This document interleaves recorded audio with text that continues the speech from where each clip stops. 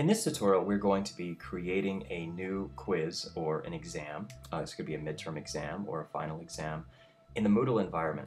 And we're going to be drawing on some pre-existing questions. They could be pre-existing questions that are in a test bank uh, provided with your Moodle Norton course pack, or they could be questions that you've imported from ExamView, and I covered that in um, how to do that in a previous in a previous tutorial.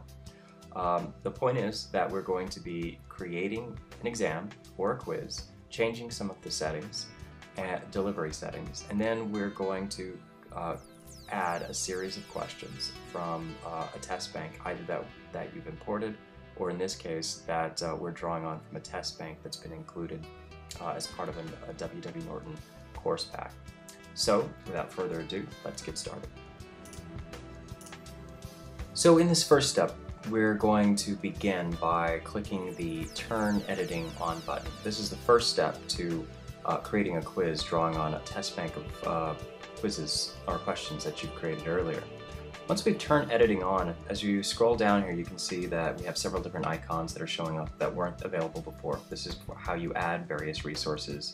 And so I'm just going to go to this block of questions here. This is where I want the quiz or the exam to appear. And I'm going to add a quiz. When I select that, I'll then be presented with a screen which, which will allow us to give a name to the quiz, as I'm about to do here. And then I'm just going to adjust some of the settings for this particular quiz. Note that at this step, we're not adding any questions. We're just setting up uh, specifications for how this quiz is going, or exam, is going to be delivered to students. So here I'm just giving students a little introduction. Um, this is just so they know that this is the fall 2010 midterm exam. Anything can go into that introduction screen, and instruction, uh, introduction box there.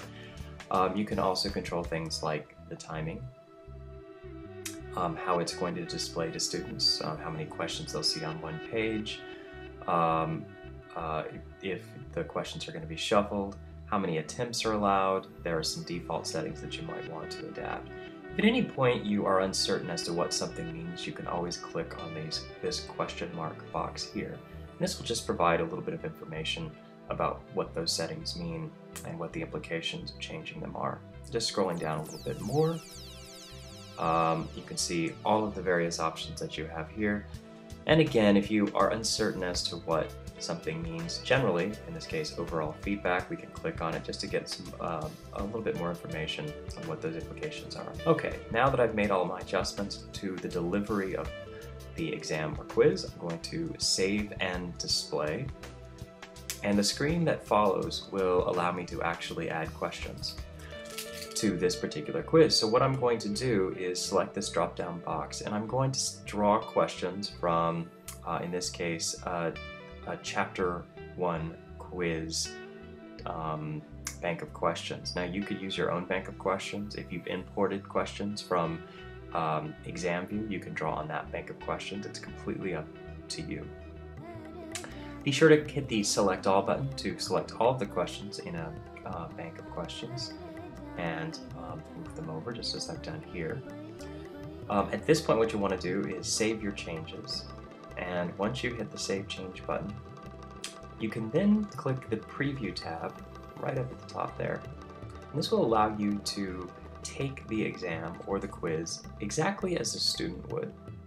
And as you can see, I can look at my questions, check them over, um, make sure that this is all to my specification. I can even as um, submit this quiz as a student and see what they see. Now again, when I do this, nothing's going to go into the gradebook. This is just for me to see is my feedback, if I've included it, reporting well, um, and also just sort of to judge, um, look at the correct and incorrect responses to make sure that those are all correct as well.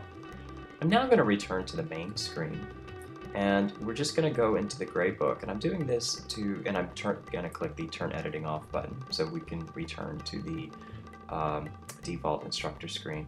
I'm now actually going to navigate to uh, the grades and I want to do this so I can demonstrate that the quiz that we just created has automatically been created in the gradebook. So a column is automatically created and as you can see right at the end, the midterm for music appreciation, which you just created a moment ago, has been added. So that's it. This is how you, uh, step by step, first create a new quiz uh, from the main screen or an exam, and then uh, go through the process of changing the delivery settings. And then finally, what we did is we created or we added a series of questions from a pre-existing test bank.